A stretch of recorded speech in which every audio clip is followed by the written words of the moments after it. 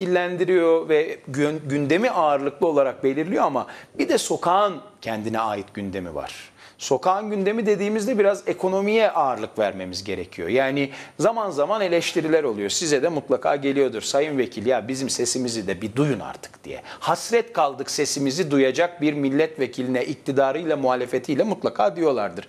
Neyle karşılaşıyorsunuz sokakta? Ee, İzmir olabilir, Türkiye'nin pek çok noktasına gidiyorsunuz. Öncelikli gündemi vatandaşın ne? Bakın biz bu e, esnaf ziyaretleriyle ilgili, KOBİ'lerle ilgili genel başkanımız görevlendirdi. Bütün milletvekilleri Türkiye'ye da- dağıldık. Ekonomi masası çalışıyor, işte esnaf masası kuruldu o çalışıyor. Bir taraftan Balkan masası kuruldu o çalışıyor. Sürekli halkın içindeyiz. Ben İzmir milletvekiliyim ama mesela çok kısa bir süre önce Batman'daydım. Batman'daki insanın da derdi aynı, İzmir'deki de insanın da derdi aynı. İnsanlar bir varoluş problemi yaşıyorlar. Evlerine ekmek götüremiyor olmak. İnsanların e, işsizlikten, açsızlıktan intihar ediyor. Valinin önünde kendisini yakıyor. Eline iş aş yazıp intihar ediyor. Samsun'da oldu biliyorsunuz. Sürekli bunu yaşadığı bir noktada bu suni gündemlerin bir önemi yok. Halkın gündemi öncelikle açlık, yoksulluk, sefalet, ekonomik kriz, e, bunun konuşulması lazım. Aslında tabii bir yandan e, gündem değiştirme çabalarıdır bunlar. İşte terörle mücadele ediyoruz. Milliyetçiliği yükseltirsiniz, insanlar açlığını, sefaletini unutur.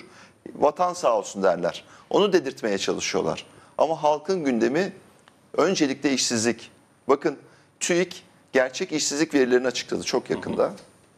Daha önce açıklamıyordu. %30'larda biz söylüyorduk. Ya olur mu diyorlardı %30 işsizlik. TÜİK'in açı- açıkladığı gerçek işsizlik verileri ve TÜİK'in verileri güvenilir değil, inandırıcı değil. O %30'u siz 35 yapın, 40 yapın. Türkiye'de neredeyse her iki yetişkinden birisinin gerçek anlamda işsiz olduğu bir e, atmosferde yaşıyoruz. Ben 94 yılından beri aktif siyasetin içindeyim. 94 yerel seçimlerinden beri. 5 sene İzmir'de Büyükşehir'de meclis üyeliği, grup başkan vekilliği yaptım. 6 yıldır milletvekiliyim. İnanın tüm siyasal yaşamı toplayın. Bu seneki kadar bana işsiz vatandaş başvurmadı. Talep etmedi. Önce önce Sos- iş istiyor herkes. Tabii sosyal medyadan ne hikayeler dinliyorsunuz yani. Bununla yaşamak o kadar zor ki. İnsanlar varlığını sürdürme çabası içinde. Çoluğuna çocuğuna ekmek götürme. İnternetin, telefonun internetini ödeyemiyor, telefonunun parasını ödeyemiyor, faturasını ödeyemiyor. Çocuğu EBA'ya bağlanamıyor.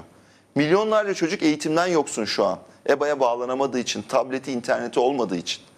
Öyle çaresiz bir durumdaki ülke. Tabii bu işin bu çaresizlik fotoğrafını çizi- çiziyoruz. Hani ülke çaresiz değil.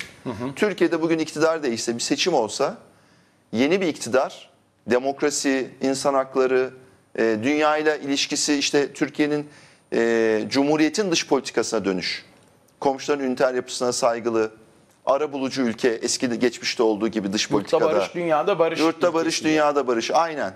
Zaten o yurtta barış biliyorsunuz e, kan ve tarihle e, kendini göstermiş bir ilke. Atatürk onu boşuna söylemiyor. Balkan Harbi'nden, Çanakkale Harbi'nden, Kurtuluş Savaşı'ndan sonra söylüyor. Yani evlatlarını cephede kaybettikten sonra söylüyor. Yeniden o ilkelere döndüğümüz noktada dünya size yabancı yatırımcı da gelir. Türk yatırımcı da dışarıya gitmez.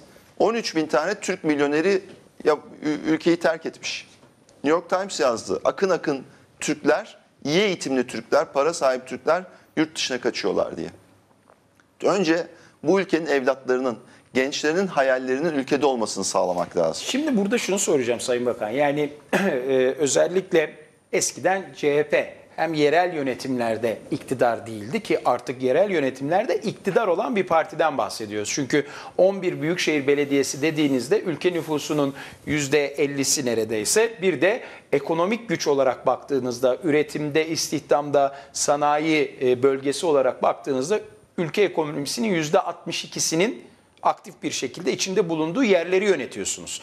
Doğal olarak eskiden karşınıza çıkan bir vatandaş ekmek, iş dediğinde ya bir iktidara gelelim o zaman deme şansınız vardı. Bugün ya bir iktidar değiliz deyince size İzmir'i gösteriyorlardır. İzmir Büyükşehir Belediyesi'nde de mi iş yok? İstanbul'da da mı yok? Ya hadi Ankara'da mı yok? Adana'da da mı yok diye. Şimdi bularla karşılaştığınızda çözümü nasıl anlatıyorsunuz? Ya bakın e, İzmir Büyükşehir Belediyesi'ne gerçi biz İzmir'de hep iktidardık da. Evet tabii. Ben İzmir milletvekili olarak hep yaşıyordum bunu ama hiç bu kadar dramatik şekilde yaşamıyordum öyle söyleyeyim.